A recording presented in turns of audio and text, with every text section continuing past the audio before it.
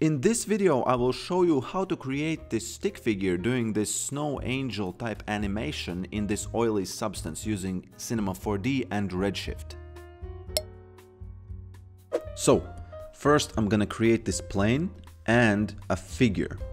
I will rotate this figure something like uh, this, minus 90 degrees, uh, so it's lying down. Next I'm gonna add this collision deformer to this plane and I'm gonna go in here colliders select inside stretch pull the figure in. And you can see that it's working but i am gonna give it 80 so it's it's better so you can see it better.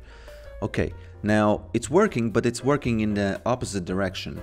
Uh, so how to change that you have to change this uh, plus y axis to minus y axis and you can see that it's now it's uh, going down it's going in it's pulling it inside Next, uh, I have to make this editable, this figure object. So for whatever reason, it works better when it's editable. So next I will create these two materials.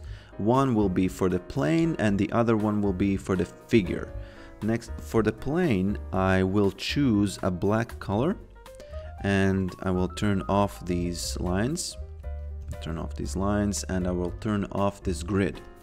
Next, the cool part is when you add this jiggle deformer, and if you move it below the collision deformer, you have to play the animation to see this effect, and now while the animation is playing, you can move this uh, figure, and you can see that effect is already happening there, right? It's very nice. Now you can select these arms here and legs, and I can add them uh, a vibrate tag. And what this vibrate tag will do, it if you give it, let's say, enable rotation, 0 here, and give it 50, no, 60 maybe here, and frequency will be 1. You can see that he starts to move them, and you can already see the effect. So if you want it to look more like water, you have to change the stiffness to lower. But if you want it to be more like something like, I don't know, a water bed maybe, then you have to put it, uh, change it to 100 maybe. So I will set it to zero and I will add, uh, put the plane in a subdivision surface so the water looks more realistic. Now I will give it one, I, no, I think that's enough. So if you don't want the random, uh, random animation, you can delete those tags. For the snow angel animation, I'm to select these arms, select these legs, uh, open up timeline, make a keyframe here, and make a keyframe here. I'm to turn on this automatic keyframing, so every time I make a change, it's recorded. Now I'm to go in the top view, I'm to take this right arm, and at frame 0, uh, I want it to be up. So I'm to rotate it up. Uh, the other arm also. I will rotate it up and this leg will be something like this for the snow angel and something like this. Now in this number frame number 5 I'm gonna make this go somewhere here, rotate the arm here and the other one somewhere like this and legs will be just closed something like this. Now uh, if I play the animation I can see that it's working, but I have to make them go back, right? Uh, something like this. I'm gonna make it uh, a little bigger.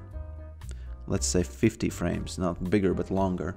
So now you can see that the animation is working. And if you want it to be forever looping, you just have to change, uh, select these layers here, go to after and select repeat. And if it's zero, it's gonna loop forever.